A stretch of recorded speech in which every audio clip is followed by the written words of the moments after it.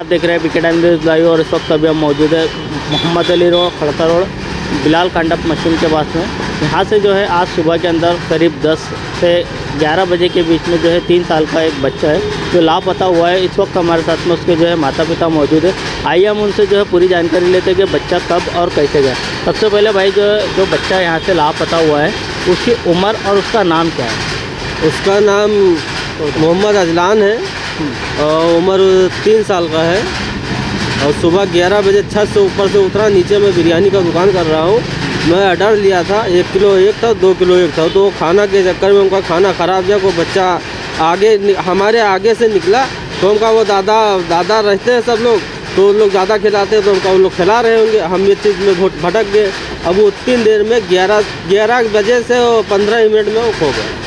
यानी इस वक्त अभी हम यहाँ पर खड़े हुए हैं और यहाँ से किस दिशा में गया था? ग्यारह बजे।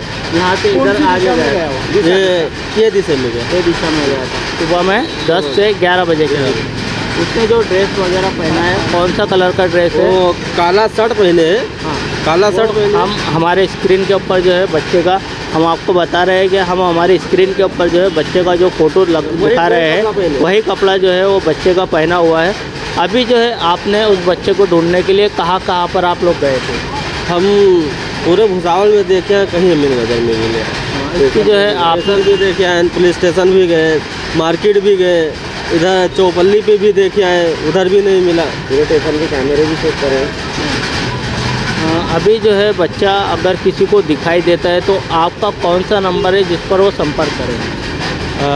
भैया अपना नंबर बताओ। ये हमारे साथ में इस वक्त जो है मुजम्मिल भाई है, जो बिलाल कंटप मशीन के जो है ऑनर है। तो मुजम्मिल भाई जो है, इस वक्त जो है आपके एरिया से, आपके परिसर से जो है बच्चा लापता हुआ है। उसके माता पिता ने बच्चे का नाम वगैरह तो सब बता दिए। इंशाल्लाह हम भी कोशिश करेंगे हमारे चैनल के ऊपर वो बच्चे का फ़ोटो वगैरह दिखाए। अगर किसी को बच्चा दिखाई देता है तो उस बच्चे का जो है किस नंबर पर वो संपर्क करेंगे उस, उनका double eight double eight five one seven eight six seven इस नंबर पे संपर्क करें। ये था हमारे साथ में मोदी